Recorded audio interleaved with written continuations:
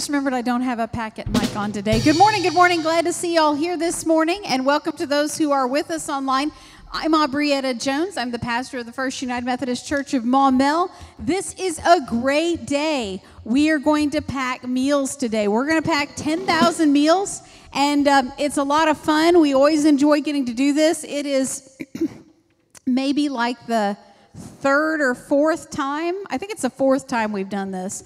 And so we're very excited to get to have the opportunity uh, to pack these meals uh, right here on Sunday morning. If you're worshiping with us online, I want to let you know it is an abbreviated service, but that's good news because you can uh, uh come on down and join us anytime during the morning between 9 and 11. We're going to be here and we're going to be doing this. We have a, a, special guest preacher today, Jeff Medders of City Connections, and uh, that's the ministry that we use to make this possible. And so we're really excited about it, and it's a great opportunity for us as a congregation uh, to do good in the community. I want to let you know about some things that are coming up next Sunday. We have volunteer training lunch at noon and uh, that's going to be especially important for people who are involved in uh, children's ministry, VBS. It's a great opportunity. So uh, we're going to be uh, it, doing that volunteer training at noon next week. And then at 3 p.m., we have our third discernment meeting about our denominational affiliation. And uh, members can speak and ask questions at that meeting. And then there is a straw poll to determine if we are going to have a final vote uh, on our denomination affiliation. So I hope you'll uh, come and be a part of that.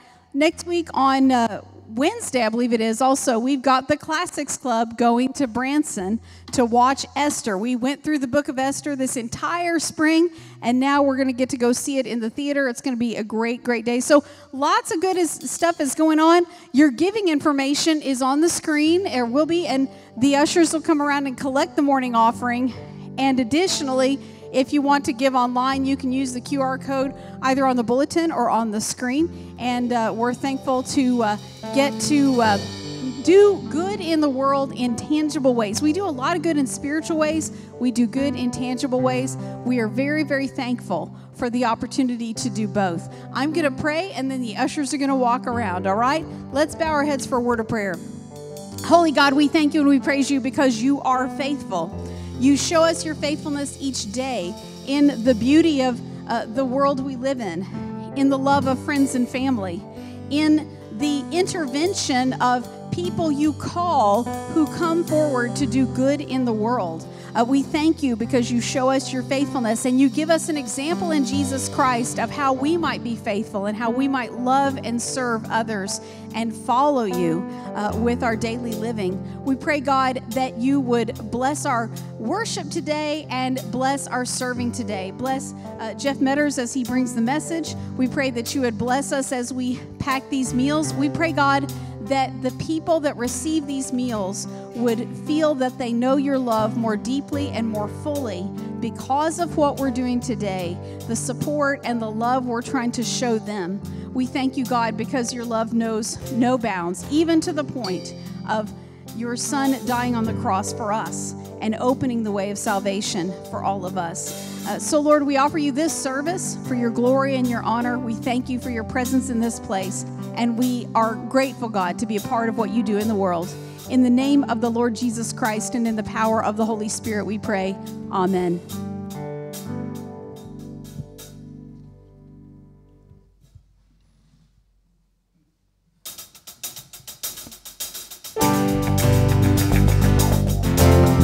Please rise and join us as we sing praises this morning.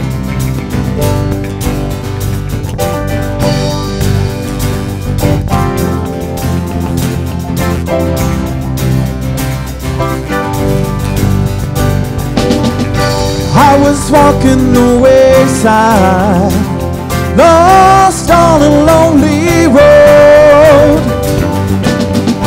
I was chasing the high life satisfy my soul. All the lies I believed in left me crying like the rain. Then I saw lightning from heaven, and I felt the been the same. I'm gonna climb a mountain. I'm gonna shout about it. I am a child of love. I found the word of freedom. I found the friend of Jesus. I am a child of love.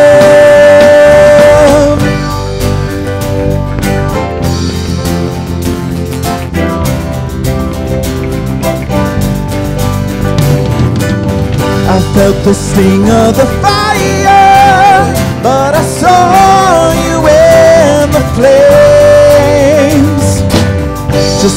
I thought it was over, you broke me out of the grave. I'm gonna climb a mountain, I'm gonna shout about it. I am a child of love. I found the word of freedom. I found a friend of Jesus. I am a child of love.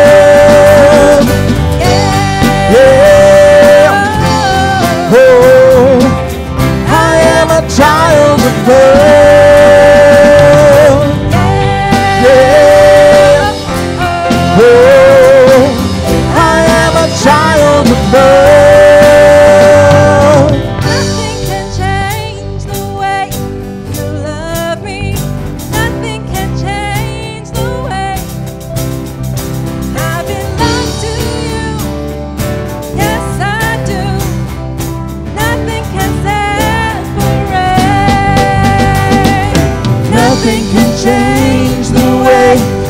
love me. Nothing can change the way I belong to you. Yes, I do. Nothing can separate. I'm gonna climb a mountain. I am a child of love. I found the word of freedom. Am a child of love.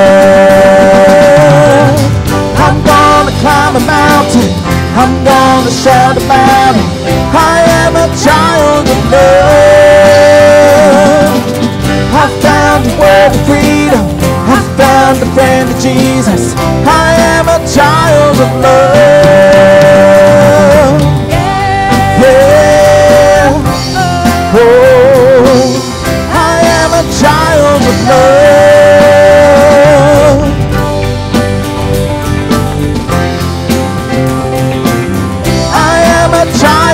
Amen.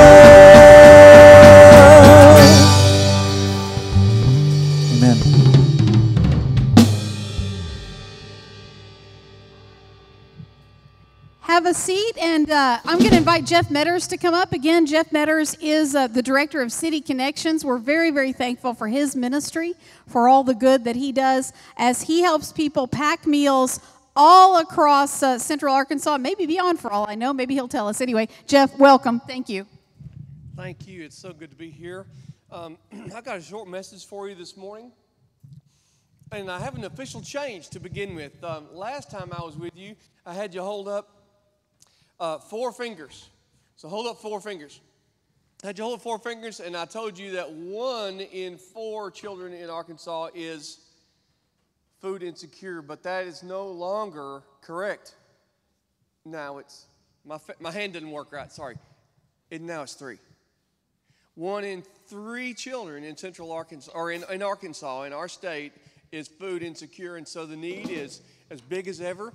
And so, thank you today for showing up to serve and to love your neighbor because uh, that was a pretty big deal to Jesus. You know, the what's the greatest commandment, kids? To love God and to love your neighbor or thy neighbor. We got a King James child on the front row. Give it up. Um, I didn't know y'all did that.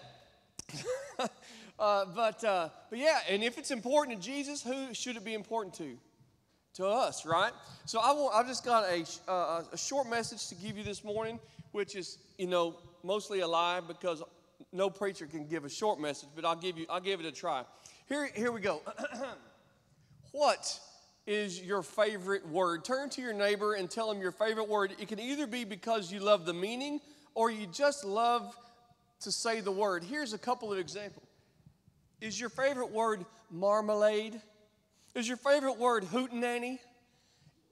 Some of you, I can tell, your favorite word is biscuit. Turn to your neighbor and tell him your favorite word.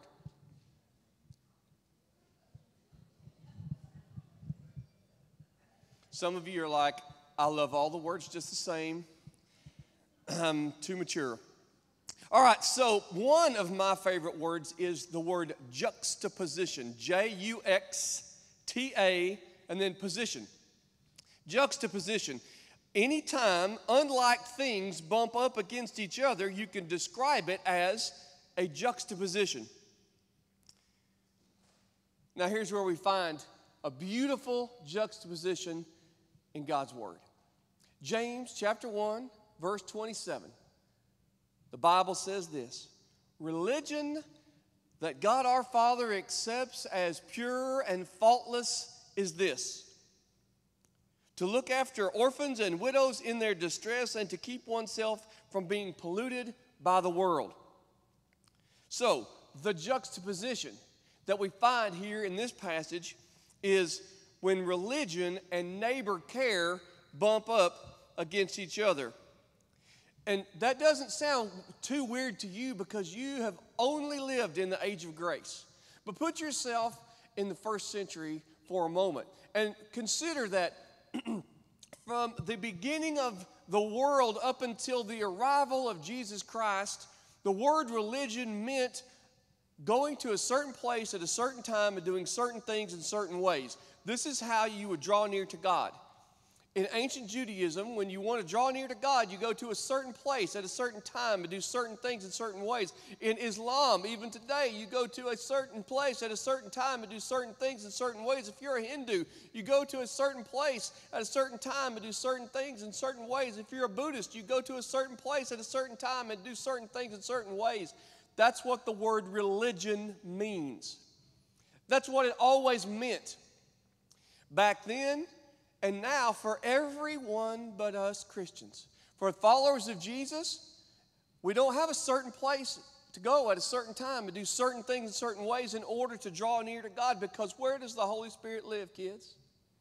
Yeah, right inside of you. So it goes where you go. You have become a holy place, the container for the very presence of God. And He goes where you go. So be careful, little feet, where you go. Do y'all sing that song? Did you sing that song? Well, you're not old, because I did, by golly. so, the word religion always meant going to some sacred place, saying sacred words in a sacred way, but not in this age of grace. Pure religion that God our Father accepts as pure and faultless is not about formal rituals or reverent recitations, not about holy phrases or sacred places. It's not pageantry or pious posture that God desires.